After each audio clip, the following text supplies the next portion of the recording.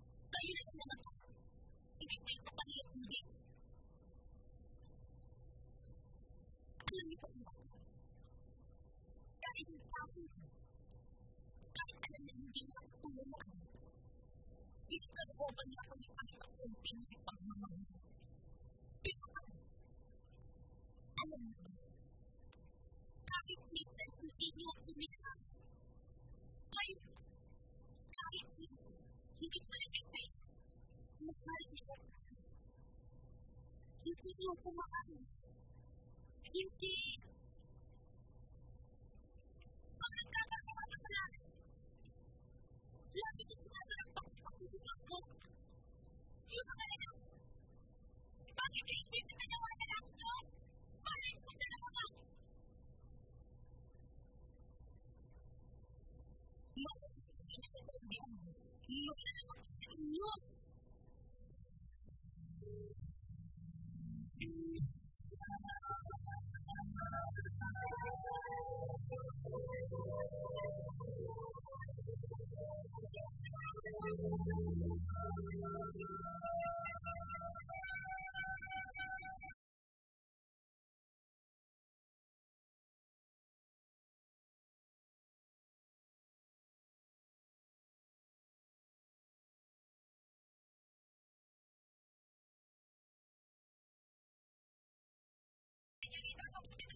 kayo. May tumawag po sa telepono. Nasa ospital daw mama ninyo. Leche! Huwag mo nga itong ipagkita si mama, ha? Opo. Ay! Um, Senorita? Kumusta na daw? Sabi po, okay naman daw po siya. Magpapahinga lang daw sa ospital. Um, may, may dumating ng sulat galing sa Amerika. O, asan na? Teka, sandali lang po. Kukunin ko po, ma'am.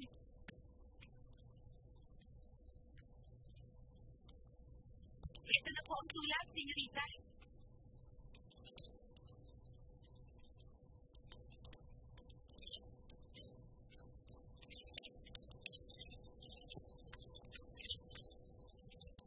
Dear Donna, kumusta ka? Kung ako ang tatanungin mo, mabuti ako. Alam mo, miss na miss ka na ng mga barkada natin dito. Lagi ka namin pinag-uusapan. Para bang dry na dry na ang grupo simula nang wala ka. But life has to go on. At ito ang pinakamahirap na parte sa lahat.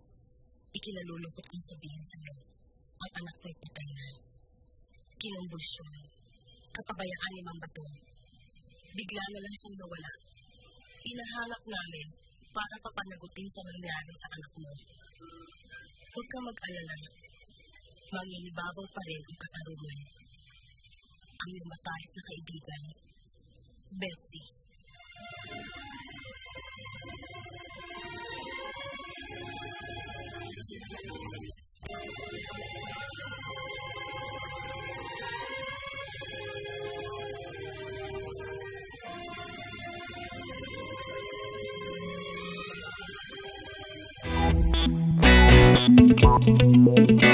Thank